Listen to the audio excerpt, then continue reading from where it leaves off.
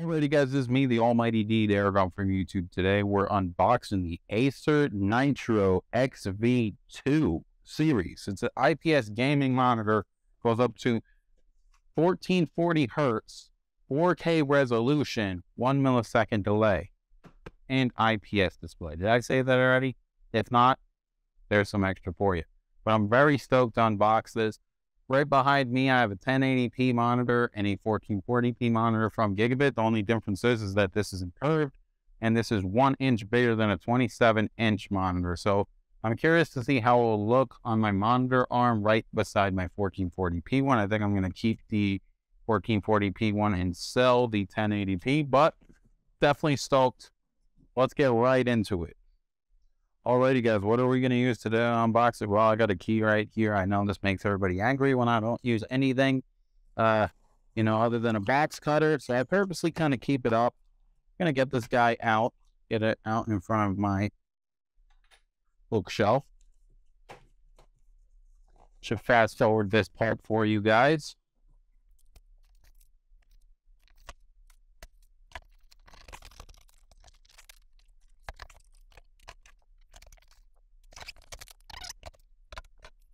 Alrighty guys, comes with a really good monitor arm. We're getting close to unboxing this bad boy and setting it up.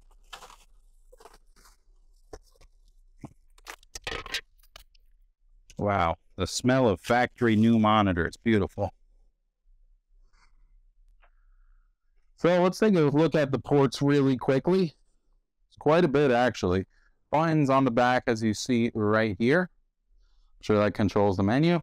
Underneath here, you have two USBs, a USB-C, a display port, two HDMIs, the power cord, and I forget what this cord is called. Uh, if anybody knows, please uh, comment below, but I know it's very vital. And on the side, you got two additional USB ports.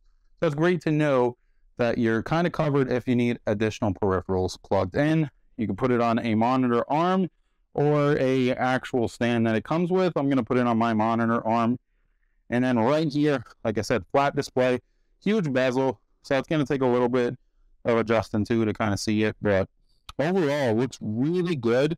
Very excited to see the color. Uh, I'm definitely going to set this up and kind of give you guys my full impression of it on the stand next to a curved monitor. Alrighty, guys, I finally got the monitor up. I'm going to test it out, but I'll give you guys a pretty close-up look on it. I lost one of the screws that mounted it, unfortunately, but I'm pretty sure I could order them online or else stumble across them. But as you see right here, probably not even that noticeable of a difference depending on the camera angle. Uh, it is slightly bigger, but if you position it just right, it will throw you off. Also, this one's not curved and this one is. I also do have to adjust the brightness and white levels so that way they match and don't bother my eyes as much. As you see, I worked up a sweat too.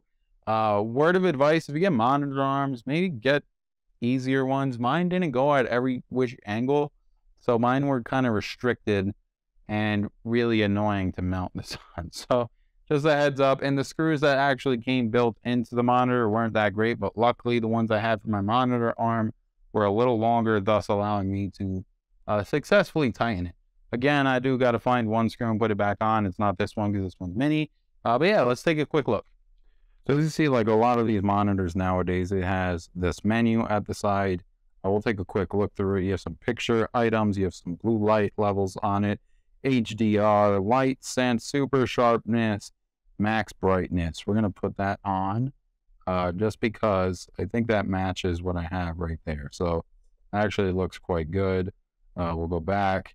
Uh, color, I do believe somebody mentioned presets. There's a pretty decent one online. Um, I don't remember which one it is. I think it is graphics.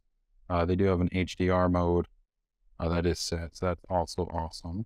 I never did have one. You have sports, racing, and then action. So I might actually set it to something standard or just put it on graphics. It really depends on which mode allows for what. But anyway, guys, right here, you can subscribe to me. so we're going to go back, uh, actually click graphics. We're going to click here. All right. No, I don't want to toggle that. We want to check the gaming out. Uh, you have free sync. I would always recommend putting that on. Uh, it also has refresh rate number that you can put on it. VR8, not really sure what those are. They have aim points. languages, transparencies, and then there's even more of auto source on uh, full full wide mode, uh, ProxiSense. Again, uh, quite a few modes that if you guys never used, uh, there's quite a few things that you could do.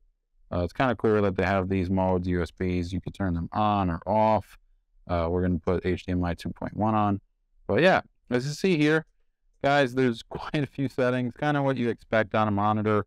Uh, but let's take a look at it on the Ready, guys, my, my setup is kind of a mess, but as you see, I have a flat panel now. Uh, it doesn't match the curve, can throw you off maybe a little bit, uh, but everything works fine. USB ports are right there, uh, hanging off the edge. And as you see right there, one of the screws is not in, but it is successfully tightened. Uh, I do have my webcam arm that I have to adjust again to kind of fit. Uh, but yeah, overall, quite a good setup. And if I put it, you know, side by side, again, let's go wrap around really quickly. You know, it's not really that noticeable that it's not curved. I mean, obviously you'll notice because a curve is a curve no matter what, but it kind of matches the ratios. And from far away, you can't even tell that they're different inches and models. So that's definitely awesome. I'm definitely stoked about that. But let's, uh, you know, let's recap. And again, guys, now the brightness kind of matches. This one's a little more dull. I'll have to kind of configure it myself, make sure everything's proper. But overall, I'm quite content with it. Again, I am sweaty from doing this. Uh, but let me know what you think down below. If you want to see a review of this, I'll be sure to get one out. Know, I'm super, super, super stoked to get this. Uh, and I'm definitely going to be playing a lot of games on it, seeing how my 3070 Ti performs with it. I do have a Ryzen 7 2700X, so my build is a pretty beefy build. People do have better ones than me, but, you know, admittedly, I just like the game in general. And again, I did get this at Micro Center for about $380, uh, you know, with tax, so it's $411. Uh, this usually is MSRP about eight, 900, but, you know, it goes on sale to 700 kind of often. Hit 450 one time, and I never bought it, but, you know, being that it's about time tax and all that, you know, I figured I could fit it in my budget. I really did want to upgrade and did do have something stronger. But anyway, guys, again, like I said, this is me, the almighty D Darigon from YouTube. Please comment, like, subscribe, check out the rest of the channel.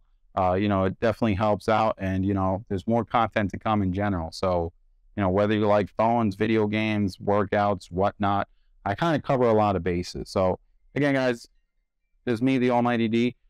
I got to catch this call. I